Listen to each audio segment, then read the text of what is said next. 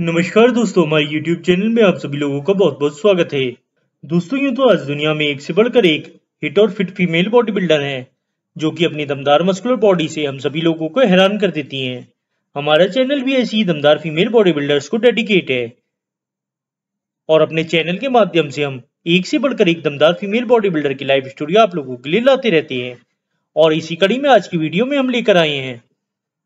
मोनिका स्पो बोडवा की कहानी। 1984 में स्लोवाकिया में जन्मी मोनिका। पेशे से इकाई भी प्रोफेशनल बॉडी बिल्डर होने के साथ साथ एक जानी मानी फिटनेस मॉडल भी हैं।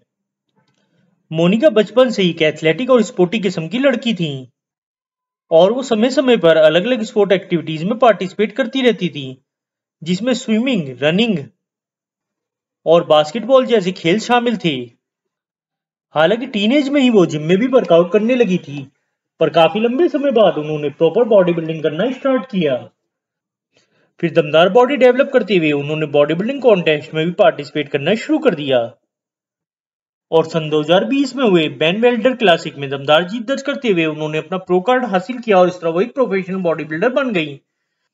दूसरे एक प्रोफेशनल बॉडी बिल्डर होने के साथ साथ वो एक सर्टिफाइड पर्सनल ट्रेनर और न्यूट्रिशन एडवाइजर भी हैं।